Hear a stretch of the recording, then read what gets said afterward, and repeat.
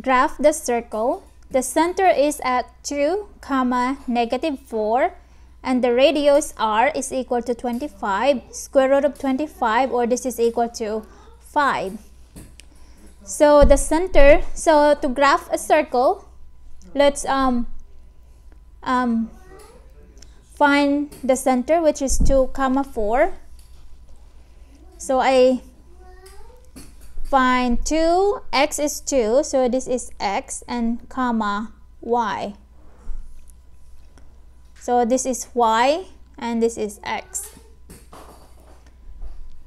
So we have a 2. So here's a 2 and then negative 4. So it's over here. So 2 comma negative 4. So this is 2 and then negative 4. Now this is the um, center. So 2 comma negative 4. Now it, the radius r, radius r is equal to 5. So that means that we go, um, so we go up 5. So this is 1, 2, 3, 4, 5.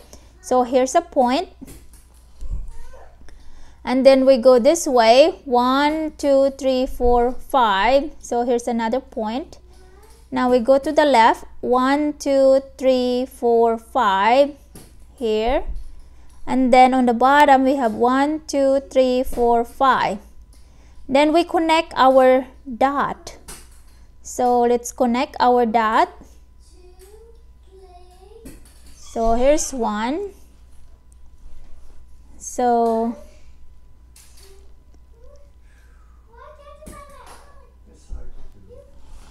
one.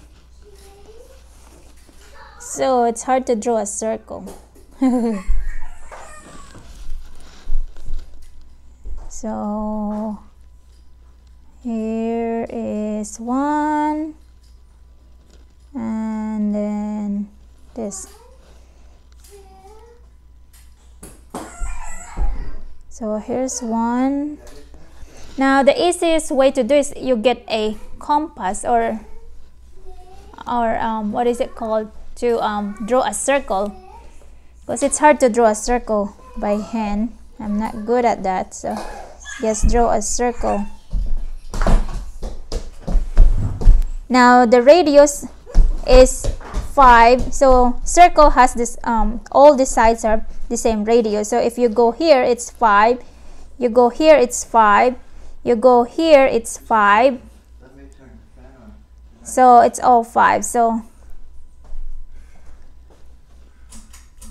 Okay. Sort of like a circle